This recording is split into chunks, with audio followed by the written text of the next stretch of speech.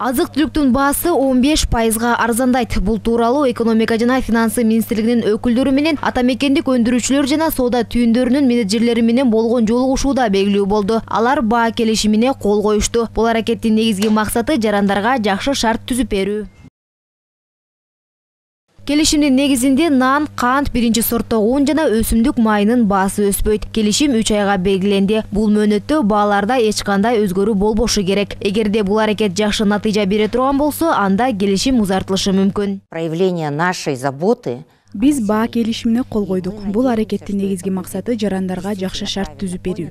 Анткени азыр жаз айы акча тартыш учур ошондуктан ушундай иш аракеттерди жасап жатабыз. Ал эми өлкөдө азык түлүк жетиштүү тынчсыздануунун кажети жок жергиликтүү өндүрүүчүлөр кумшекердин килограммын элүү төрт сомдон жогорулатпайбыз деген чечимге келишти ар бир соода түйүндөрүнө айына эки жүз тонна жеткирип турат ал эми сатуучулар үч пайыздан ашпаган чыгымдарды гана кошуп сата алышат ошондо шекердин баасы элүү алты сомду түзүшү керек. Ошондой эле нан он алты сом деп белгиленди ун жана майды чыгаруу жана сатуу бааларынын шарттары боюнча беш пайыздан жогору болбошу шарт. Баягы соода кошуму бар. Ошол соода кошумдарын ылдыйлатуу жана кээ бирки учурда аны жокко чыгаруу жана бааларды бекитүү чечими кабыл алынып бүгүнкү күндө мисалга алсак ошол эле биздин кызылча кант кызылчасынан чыгарган сахарды заводдун өкүлдөрү ошол биздин соода түйүндөргө элүү төрт сомго бекитип ошол үч айдын ичинде элүү төрт сомдон көбөйтпөйбүз деген чечимге келишти. Товар жеткирүүчүлөр ассоциациясынын президенти гүлнара өскенбаеванын айтымында ушул мезгилде жеткирүүчүлөр импортерлор жана жергиликтүү өндүрүүчүлөр бул өнүмдөрдү соода түйүндөрүнө акысыз жеткиришет. Ал эми калкка кошумча төлөмсүз сатышат. Буга ата мекендик өндүрүүчүлөр да убада берүүдө.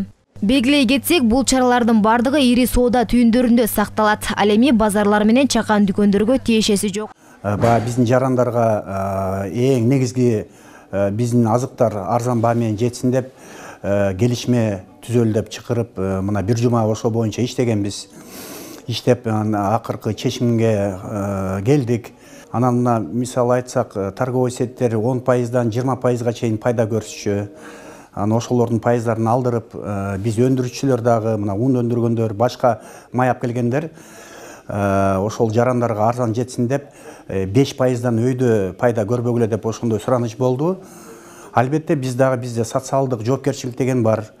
Жана бизнестен тышкары биз деле ойлоп атабыз баягы элге арзаныраак азыктар жетсин деп.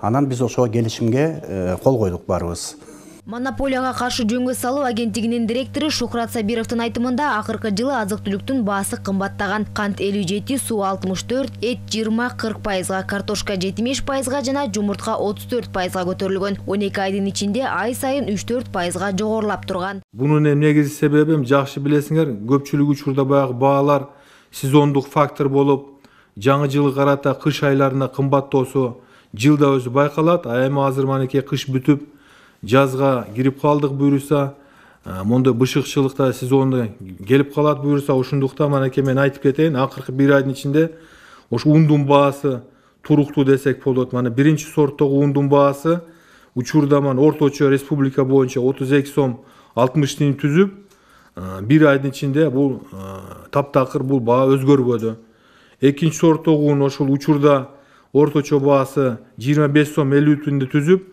акыркы бир айдын ичинде кырк тиынга гана кымбаттап же бир жарым пайызга өстү. Ал эми нандын баасы акыркы бир айда өзгөрбөдү.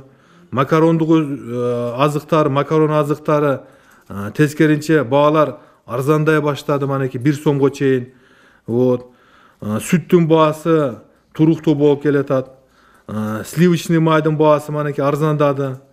Анан эми айтып кетейин манекей эт эттин баасы бир жылдын ичинде манекей жыйырма пайыздан кырк пайызга чейин өткөн жылга салыштырмалуу түрүнө карап кымбаттаган болсо акыркы бир айда бул эттин баасы да туруктуу болуп келатат өлкөдө социалдык маанидеги азык түлүккө болгон бааларга күн сайын көзөмөл жүргүзүлүүдө айсалкын нурмат кызы мирлан жаныбеков лтр бишкек